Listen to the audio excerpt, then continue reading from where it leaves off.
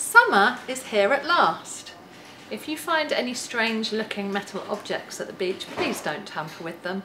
Just put on your self-adjusting diaphragm swimsuit and go, go, go.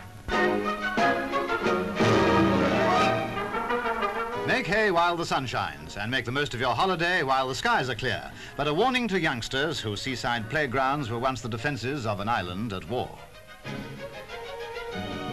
The authorities remind you not to tamper with any strange metal objects, but report them to the police. Londoners who are wise in a heat wave make a beeline for the nearest Lido to lower the temperature and raise a tan.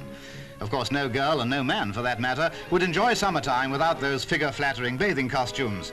These models of Italian inspiration are designed to do the right thing for the right figure, and even for the wrong one.